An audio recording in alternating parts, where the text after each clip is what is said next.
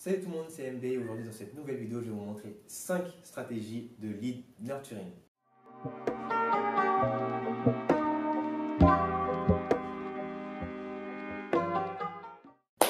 Alors, bien sûr, si tu ne me connais pas, je m'appelle Dusselier Michael et sur cette chaîne, j'aide les entrepreneurs SaaS à scale leur business. Alors, le lead nurturing, donc, c'est éduquer tes leads. Donc, tes leads, c'est du coup ton contact, des personnes qui t'ont donné leur adresse mail ou leur numéro de téléphone. C'est les éduquer sur ton contenu, sur des fonctionnalités que tu vas proposer via ta solution. Dans cette vidéo, en 5 stratégies que j'ai choisies, je vais te montrer exactement ce que tu devrais faire en fonction des cas.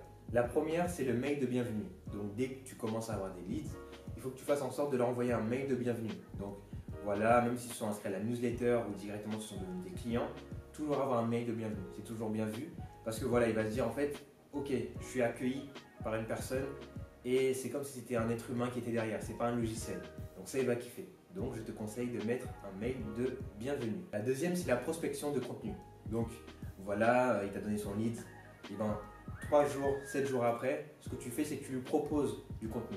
Comme le mail de bienvenue, ce qui se passe, c'est que dans le mail de bienvenue, tu dois faire en sorte de mettre la fonctionnalité phare, un call to action pour mettre la fonctionnalité phare. Mais dans les propositions de contenu, là, tu fais en sorte, donc 3 jours après, tu lui proposes de tester une fonctionnalité qu'il n'avait pas vue avant. Ok? 7 jours après, la même chose. C'est inciter ton client, ton prospect, à retourner sur l'application 3 ou 7 jours après. La troisième, donc, c'est la promotion d'un contenu premium. Donc voilà, s'il s'inscrit en tant que prospect donc à la newsletter, là, vous lui proposez de devenir votre client. Si c'est un client, vous lui proposez des fonctionnalités qu'il n'a pas. Pourquoi on fait ça? Parce que on va les éduquer. On va leur montrer que, ok, vous avez cette fonctionnalité-là pour l'instant, mais vous pouvez avoir mieux, ok? Et ça, c'est très important de lui envoyer aussi. Il faut qu'il soit informé. Ça se trouve qu'il ne va pas être informé parce qu'il utilise justement les fonctionnalités qu'il a, mais peut-être que si vous lui informez qu'il y avait d'autres fonctionnalités, eh ben, ça va lui donner envie de continuer avec vous. Le quatrième, c'est le mail d'encouragement. Lorsque votre client finit une tâche, vous devez l'encourager, Et lui donner envie de continuer son nouvelle tâche. Netflix le fait très bien, c'est-à-dire que eux, avant même de commencer un contenu, ils vous proposent déjà des contenus qui sont adaptés pour vous.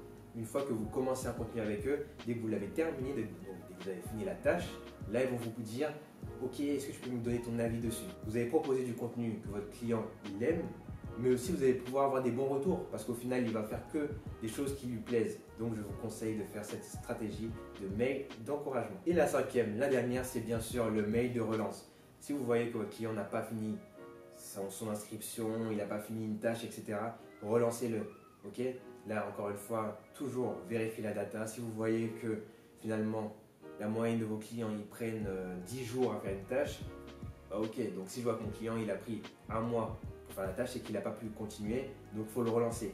Des fois, il y a des gens, ils ont besoin de relance. Ok? Ils ne peuvent pas tout faire d'un coup, ils ont besoin de relance. Et donc, les mails de relance sont là pour les inciter à retourner sur l'application et finir des tâches qu'ils avaient commencées. Petit récapitulatif sur les 5 stratégies à mettre en place en lead nurturing pour son service. Le mail de bienvenue. Donc, dès qu'il s'inscrit, hop, mail de bienvenue. Comme ça, il se sent accueilli et ça, c'est très bien pour vous et pour lui. La proposition de contenu. Donc là, c'est directement 3 jours après, 7 jours après, vous lui proposez des fonctionnalités qu'il n'avait pas vues. La promotion d'un produit premium. Donc voilà, intéressez-vous à votre client. Si vous voyez que c'est un prospect, faites-le devenir un client. Si vous voyez que c'est un client standard avec l'offre standard, faites en sorte qu'il devienne avec l'offre premium. Trouvez toujours ce qu'il n'a pas et comment vous allez faire en sorte de l'amener pour que ça lui donne envie de passer à un level supérieur. La quatrième, donc le mail d'encouragement. Netflix le fait très bien. Il vous propose du contenu, vous regardez le contenu et si vous l'avez fini, là il vous propose de donner un avis. Donc indirectement, ils vont avoir que des bons avis parce qu'ils vont demander seulement sur des choses que vous avez terminées et que vous, avez décidé de suivre.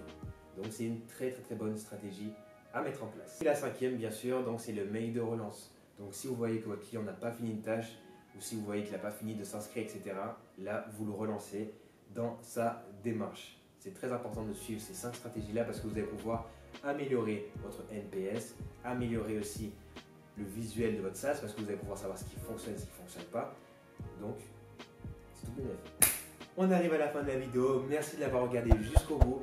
N'hésite pas à liker, commenter et partager cette vidéo. N'hésite pas aussi à me suivre sur Instagram parce que je poste du contenu régulièrement et exclusivement dessus. C'était MB. On se dit à la prochaine fois pour une nouvelle vidéo dans le monde des SaaS. Ciao